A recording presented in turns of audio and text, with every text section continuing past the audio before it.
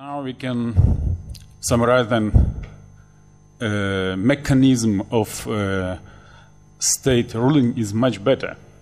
I think it's improving because the main purpose, one of the main reason uh, now which uh, government should focus, it's um, sharing uh, of the, which never did before properly, sharing um, the budget for poor people.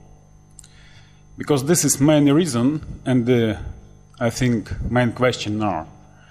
I think uh, another problem which we have in uh, our country, it's uh, old, um, old mentality. I think uh, from uh, sometimes we, we, we, had it from uh, government.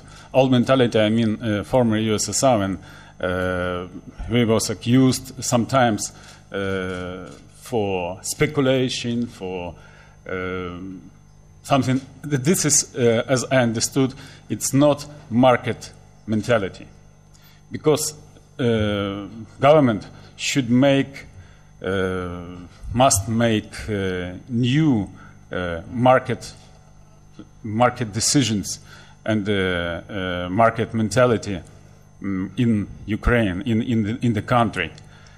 And when we will do track back to Soviet society in our mentality, in our head, it will be not good.